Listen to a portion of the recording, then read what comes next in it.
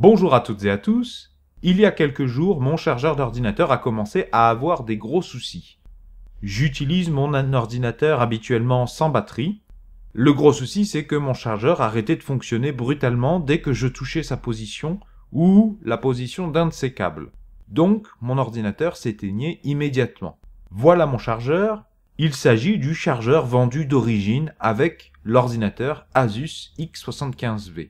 La forme des chargeurs varie en fonction des marques, mais ce que je vais dire, et surtout le raisonnement, s'applique à la plupart des chargeurs d'ordinateurs portables. La panne pouvait a priori venir d'un problème au niveau de l'embout qui vient se brancher dans l'ordinateur, ou alors du boîtier ici au milieu de l'image. Ce boîtier est un ensemble de composants électriques qui transforment le courant électrique alternatif 220 volts fourni par la prise secteur en un courant électrique continu de 19 volts qui permet à l'ordinateur de fonctionner normalement. D'un câble entre l'embout et le boîtier, dans cette vidéo, j'appellerai le boîtier aussi à certains moments un convertisseur, ou alors un problème au niveau du câble entre le boîtier et la prise secteur, ou alors de la prise secteur elle-même, voire même de l'ordinateur lui-même.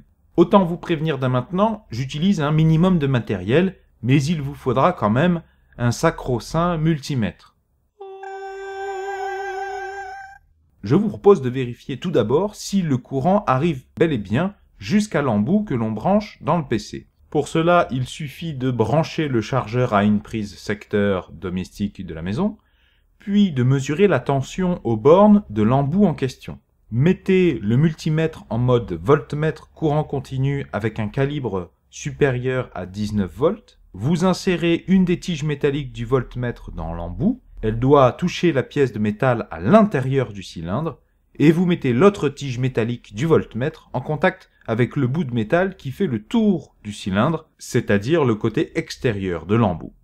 Attention, il ne faut surtout pas que les deux tiges métalliques se touchent. Vous pourriez casser votre chargeur, abîmer votre multimètre et subir une électrisation modeste. L'électrisation, c'est le fait de se prendre un coup de jus. L'électrocution, c'est une électrisation tellement forte qu'elle est mortelle. Ceci dit, même si votre coquère mâchouillait l'entièreté de l'embout du câble, ce qui arrive dans certaines familles, elles pourront en témoigner, il ne s'électrocuterait quand même pas.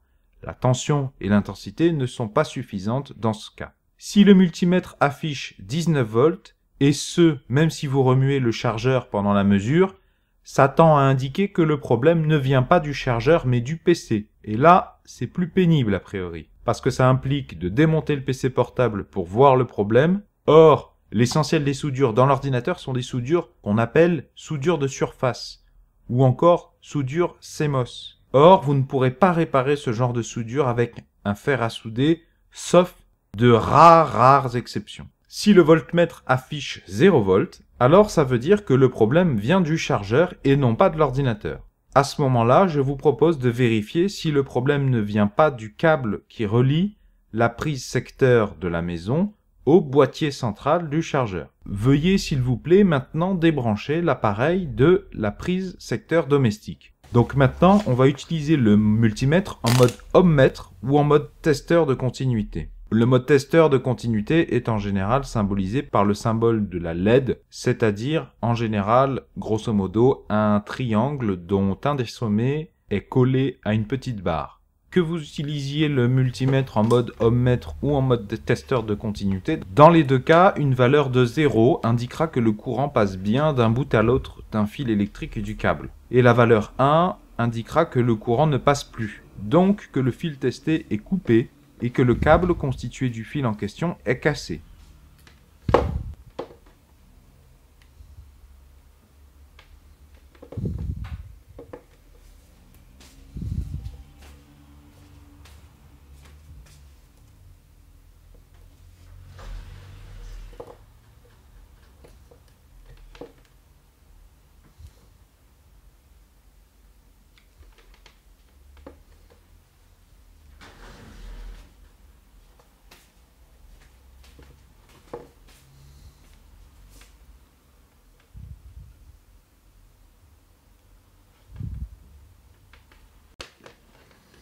Donc là, grosse surprise, en fait, J'ai remarqué qu'il y avait une bonne continuité entre ce pin, cette broche. Par contre, entre ici et ici, il n'y a pas de continuité. Donc, ça veut dire que le courant est coupé, enfin la ligne est coupée. Et entre ici et ici, c'est coupé. Ah, ça, normalement, c'est la... si c'est connecté à ça, bah, c'est la Terre, quoi. C'est la masse. Donc euh, j'ai deux câbles qui sont pas continus, donc ça veut dire que ce câble est coupé, quoi, hein, euh, joue le rôle d'interrupteur ouvert, un petit peu contre toute attente. Hein. Où est-ce qu'il est coupé? Bah, L'examen du câble là en lui-même n'a rien révélé, donc je suppose que ça doit être ici ou ici, quoi. Donc, comme quoi, hein, ça peut être très très discret, très silencieux. Bon, c'est une bonne nouvelle, parce que ça, ça coûte, c'est pas très compliqué à, ça coûte pas grand chose à, à changer, quoi. Tandis que le le chargeur en lui-même, c'est 30 euros. Ceci dit, euh, je sais que ça marche pas, mais si c'est juste ça qui est cassé, euh, il suffit que je coupe là et que je le remplace. Ça, c'est facile parce que ça, j'en ai. Ça, par contre, cette conique, j'en ai pas et j'ai regardé dans mes affaires, je n'ai pas de câble de rechange. Donc, je vais couper là, euh, à mi-chemin entre les deux, et je vais vérifier séparément la continuité des fils électriques en cuve dans les deux demi-câbles. Alors j'en profite pour dire qu'une pince à dénuder peut être un cadeau très sympa, je pense notamment pour un adolescent bricoleur. Lui, ça lui permettra d'accélérer la vitesse et le confort avec lesquels il dénude des fils. Je pense que c'est mieux pour sa santé physique et pour la santé morale de ses parents qu'il utilise ça plutôt qu'un couteau suisse ou le couteau de cuisine de papa-maman. C'est très raisonnable financièrement, et à moins de s'appeler Hulk, ça l'accompagnera toute sa vie. Alors ça c'est quand même une sacrée surprise parce que la prise électrique a trois broches et en fait il n'y a que deux fils. Donc en fait la masse ne sert à rien. Ça fait erreur de ma part. Il n'y a pas de gainage, il n'y a pas de gain en alu, il n'y a pas de... D'accord. Bon.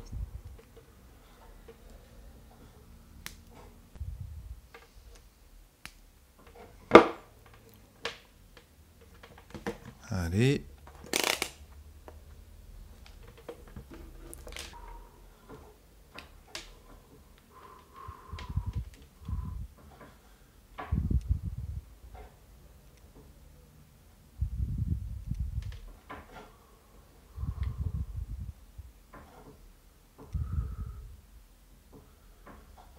Ouais, donc il y a bien un problème dans cette partie-là. Cette connectique qui est cassée malheureusement.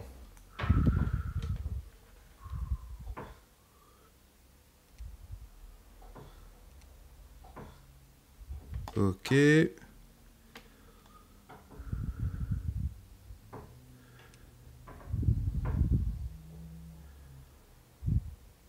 Ok, donc ça, cette partie-là est saine.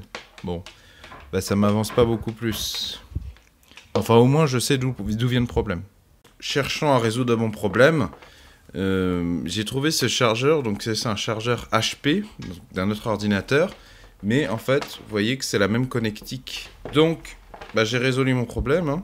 Vous voyez, je vais pouvoir brancher mon ordinateur maintenant. Déjà pour commander peut-être cette pièce en attendant. Ce que je vais faire aussi, euh, c'est que je vais chercher sur Amazon euh, la référence pour ce produit au, meilleur prix et je vous le mets dans la description. Hein. Donc vous pouvez acheter cette pièce euh, en passant par ce lien ou, pas, hein, c'est à votre convenance. Je pense que je mettrai un lien en affiliation, comme ça ça permettra à mon audience, si elle le souhaite, de me soutenir, de me récompenser pour, cette, pour le partage de solutions que j'essaie d'organiser dans cette vidéo.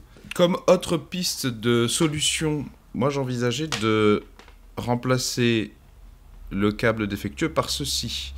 Parce que ça, si vous sciez le morceau en plastique qui sépare les, deux tubes, vous pouvez ensuite venir l'emmancher ici. Il n'y a pas de sens, parce que sur une prise secteur, vous savez, vous avez trois broches, vous avez les deux broches qui sont euh, cachées à l'intérieur derrière les, caches plastiques. Vous avez la prise de terre qui sort, mais ça, ça ne nous intéresse pas dans notre cas. Et en fait, si vous mesurez avec un multimètre la tension entre euh, ce point et ce point en mettant le, le plus du multimètre ici et le moins ici, ou dans, dans le sens inverse, plus ici, moins ici, il n'y a pas de différence. C'est du 230 volts. Donc il n'y a pas de sens. Vous n'avez pas à vous prendre la tête à ce niveau-là. Bon, imaginons maintenant que tout va bien pour le câble que nous venons de tester. Et imaginons que l'examen de tout à l'heure de la tension à l'embout terminal était de 0 volts. Peut-être alors que c'est l'embout qui est cassé et que le boîtier fonctionne très bien. C'est-à-dire qu'un des fils en cuivre du câble entre le boîtier et l'embout terminal est sectionné. C'est tout à fait possible. Ça pourrait se résoudre en changeant juste l'embout terminal. Or, l'embout neuf doit coûter entre 1 et 5 euros tout compris. Et je trouve ça très facile à changer, même pour un profane. Tandis que si vous achetez un chargeur complet neuf, vous en avez pour au moins 30 euros. Donc, pour ça, pour être sûr que vous ne faites pas une dépense inutile, vous ouvrez le boîtier avec un ou deux tournevis, voir la vidéo en question. Le lien vers cette vidéo est dans la description. Une fois que c'est fait, vous branchez le chargeur sur la prise secteur. Faites attention encore une fois à ne pas vous électriser. Cette fois-ci c'est plus délicat, il y a un risque réel de grosses châtaignes électriques si vous n'êtes pas vigilant ou vigilante. Il faut surtout pas mettre en contact des fils électriques qui, nativement dans le système, sont séparés par de l'air, c'est-à-dire de l'isolant. Mettez cette fois-ci le multimètre en mode voltmètre courant alternatif et sur un calibre supérieur à 230 volts et vous mesurez la tension aux bornes du boîtier, côté prise de courant, côté interne. Ça sert à rien de mesurer côté externe. Si le câble est bon comme précédemment vérifié, on sait déjà que le 230 volts arrive bien côté externe. Mais il se peut que cette connectique soit cassée. Donc, on vérifie la tension de l'autre côté. Si, à la différence de moi, vous obtenez 220 volts, vous mettez maintenant votre multimètre en mode voltmètre courant continu avec un calibre supérieur à 20 volts. Et vous mesurez la tension aux bornes du boîtier du côté qui part vers l'embout terminal, toujours côté interne.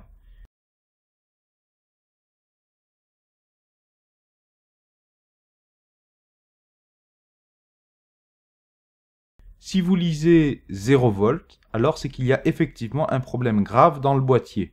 Dans ce cas-là, je vous propose de commander le chargeur sur Internet. Je vous mets un exemple de lien pour l'acheter sur Amazon dans la description. Je précise que je ne suis pas un vendeur de produits sur Amazon. Je partage des liens vers les meilleurs tarifs que j'ai trouvés sur la base de mes compétences incomplètes et subjectives. Si vous lisez quelque chose proche de 19 volts, alors c'est que le boîtier fonctionne très bien, mais qu'il y a un problème, par exemple un fil en cuivre coupé, entre la sortie du boîtier et l'embout terminal. Donc vous pourrez résoudre votre problème dans ce cas-là en changeant par exemple l'embout terminal. Je vous mets un lien dans la description, un lien Amazon aussi vers un lot d'embouts à un prix que je trouverais intéressant et un lot d'embouts qui couvre beaucoup de modèles différents d'ordinateurs. Il faudra encore que vous vérifiez sur la base des images et les dimensions qui sont données par le vendeur sur la page Amazon que ça colle bien avec votre embout à vous de votre ordinateur. Si vous voulez que je fasse une vidéo sur comment changer l'embout terminal d'un chargeur d'ordinateur portable, dites-le moi dans les commentaires. Si des professionnels ou des amateurs expérimentés ont les oreilles écorchées par les termes que j'emploie dans ma vidéo, croyez bien que j'en suis désolé, mais j'essaye de faire du mieux que je peux. Je suis preneur des conseils constructifs. Est-ce que vous pouvez s'il vous plaît mettre un j'aime à cette vidéo? C'est très très important pour moi. Si vous cliquez sur j'aime, vous encouragez YouTube à recommander cette vidéo à davantage de spectateurs. Si vous cliquez sur j'aime, vous me permettez de continuer à publier des vidéos. Je vous invite à vous abonner et à préciser dans les commentaires les informations que vous jugerez utiles. Parfois, un spectateur partage dans les commentaires une solution qu'il a expérimentée. Cela m'arrive régulièrement de citer cette personne, de consigner sa solution alternative en la copiant-collant dans la description sous la vidéo. Vous pouvez aussi vous abonner par mail en cliquant sur le lien concerné dans la description sous la vidéo. L'abonnement par mail permet de garder le contact si demain YouTube disparaît ou que je change de plateforme.